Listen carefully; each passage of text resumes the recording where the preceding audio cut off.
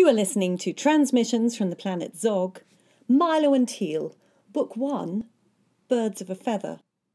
Chapter 5 Milo's Second Invention. Milo was working on something exciting. Having completed the new treehouse extension with Teal, he now had more time to develop and investigate something new. And this new was holding his attention riveted this sunny morning.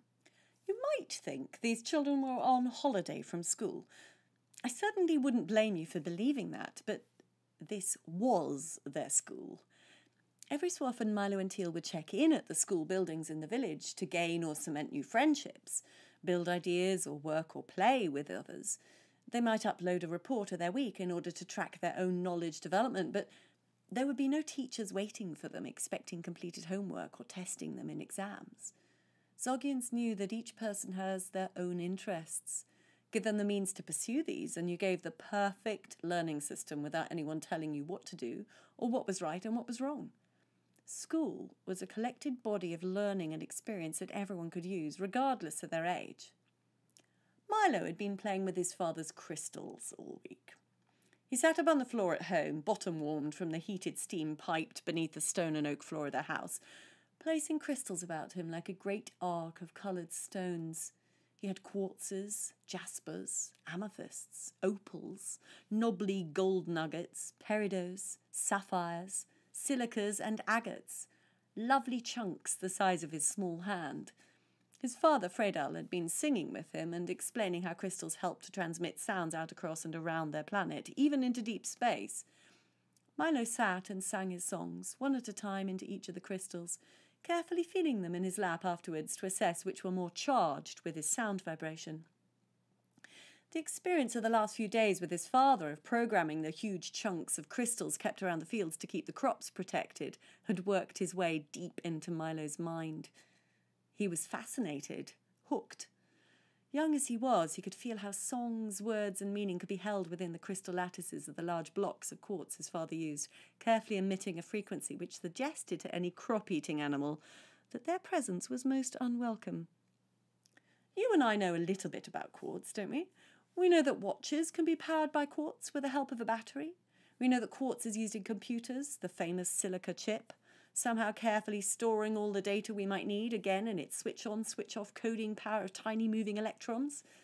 Zoggians just took this further and more naturally, playing with the switch and movement of ion energy in crystals to influence all manner of different everyday processes, from the powering and memory in their pods to creating force fields around agricultural fields to amplifying and transmitting particular sounds. This, the singing in of the stones with his father.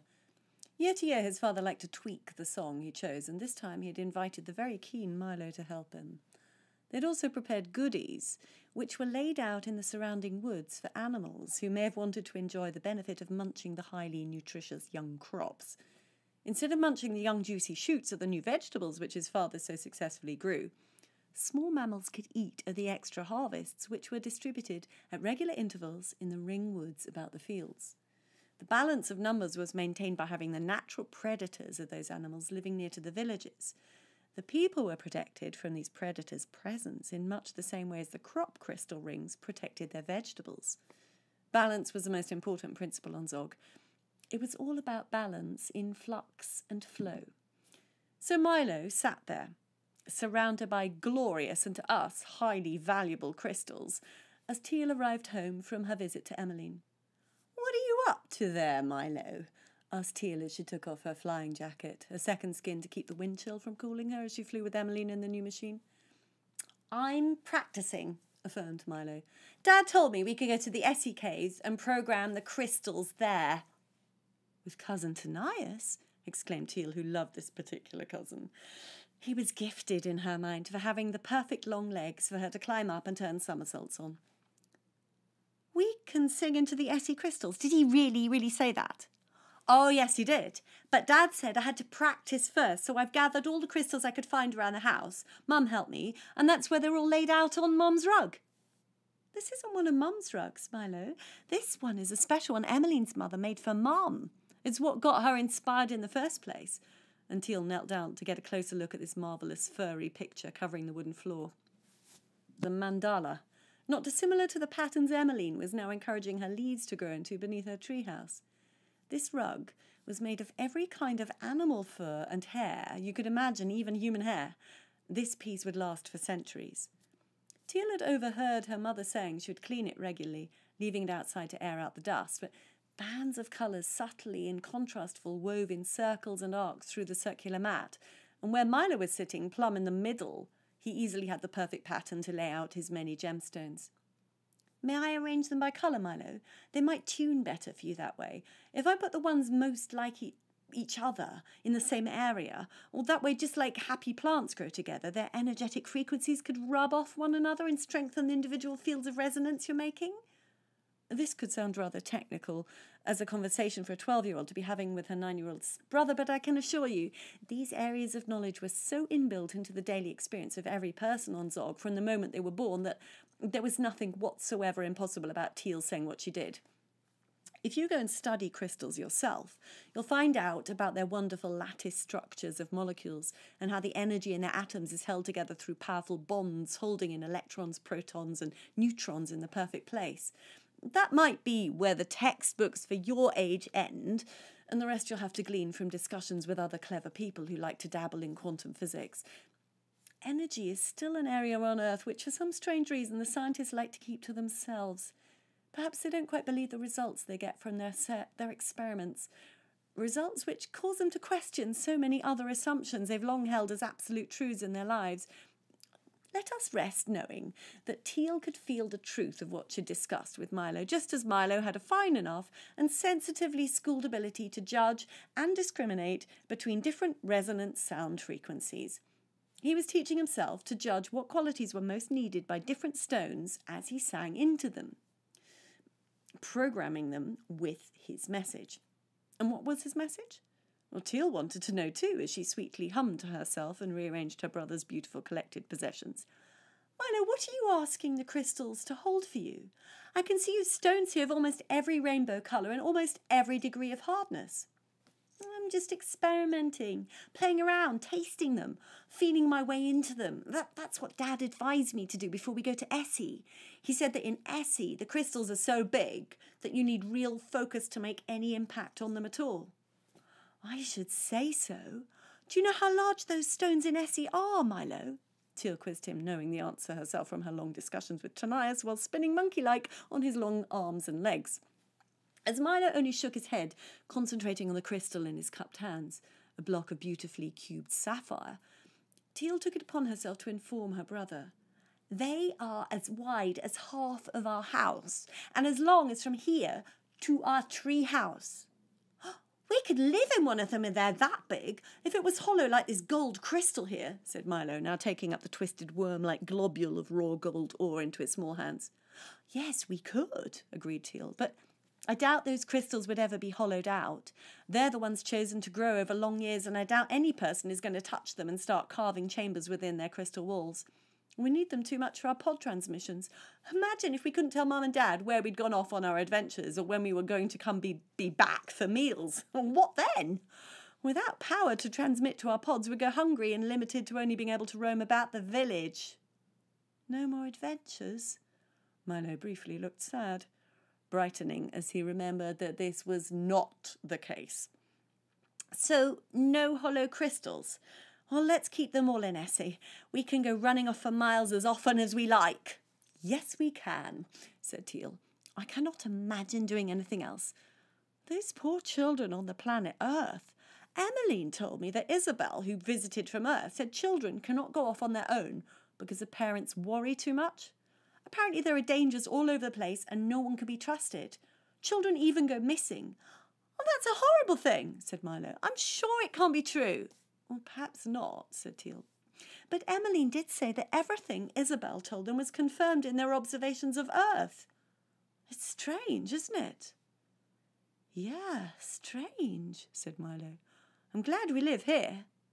So am I, said Teal, finishing off her arrangement of gems through the rainbow, completely encircling her smaller brother. There, I've done it. You have a rainbow about you, Milo. Now sing your rainbow songs and let's see what synchronistically comes our way today. I bet you will be seeing spectrum colours in the hanging crystals at the windows, in the etched edges of the window panes, or the quartz edge of the pool outside, even if we don't see one in the sky. And Teal became excited, as she always did, when imagining new possibilities. Hey, you could make a rainbow deliberately. Just concentrate with your crystals and see how fast one comes. You know, it's only a matter of 68 seconds of mental or emotional focus. Go on! And she skipped around the rug with anticipation. You make a rainbow, Teal. I already know what I'm creating with these. What? said Teal. A beam into space at Essie, replied Milo. I'm calling up the crystals in the ground to help me when I go to sing in the giant ones. I reckon that if I enlist the help of all those different minerals, then I'll have the strength to transmit a signal. I want to see if Mum can pick up the signal I send back here at home on her pod while I'm all the way in Essie. But she could do that anyway with your pod via the libraries, Milo.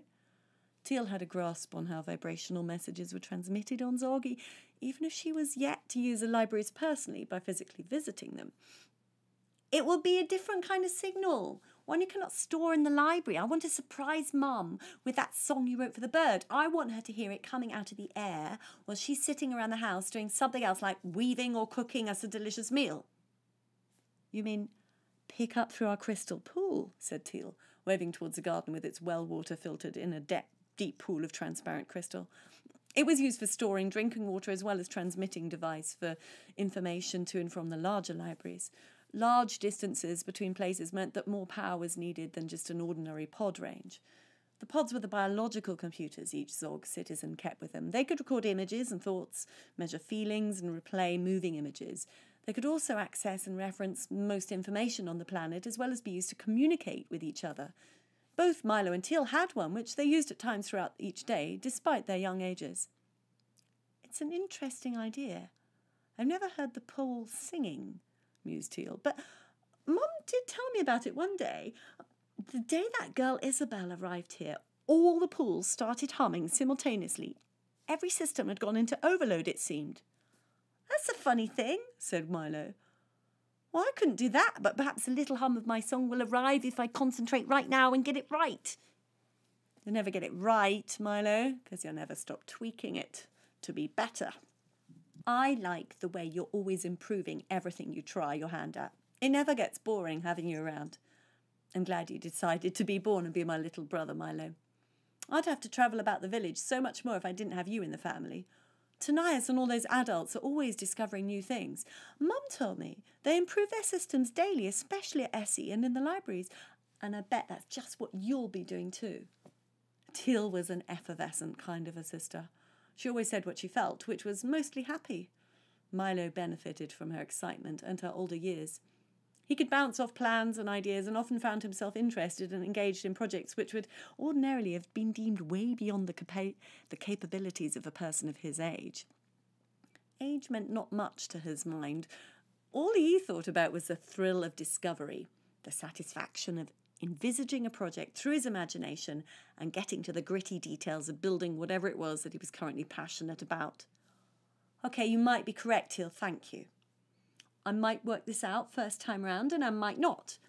Either way, it should be a hoot to attempt to make our pond spit out my singing voice and singing one of your songs. Attaboy, said Teal encouragingly. She liked earthisms. You know, it may well be my song, but it's you who have the lovely voice, I've always told you. And one day soon, Tanias will actually invite us to Essie, and you will get to see the effect your voice has on those crystals directly. You mark my words. Milo was now feeling a little abashed. His singing voice was lovely, but somehow he always felt a little self conscious about it, which was odd, as no one he had ever met could explain to him this particular emotion. It seemed that no one suffered from this any more, unlike us on Earth, where it was often positively cultivated in families. He decided to change tack a little and ask after his sister, removing the pressure he could feel upon himself. So he casually asked her, Anyway, what did you do today at Emmeline's? Mum said you were with her in a new flyer. Teal, eager to talk about her adventures with Emmeline, her wondrous floor, and the honeybird, replied, I was just moseying about her treehouse, discussing birds and nests and patterns and things. I've an idea which I'm going to work on, and Emmeline might help me. We can show you when we've done some more on it. Did you know, Teal, said Milo, I heard from Foni talking about that Isabel that children on Earth have to go to something they call school, but it's the opposite of ours. Yeah, I heard that too, replied Teal.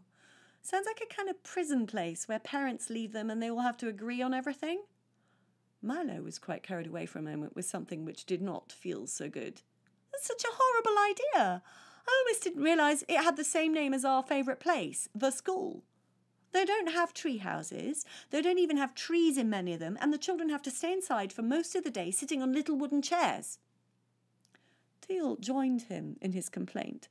I heard they also don't have hammocks or experiment areas. The children cannot make anything without asking the adults first, and then they all have to make the same thing, and they teach the children all about the things they learned hundreds of years ago.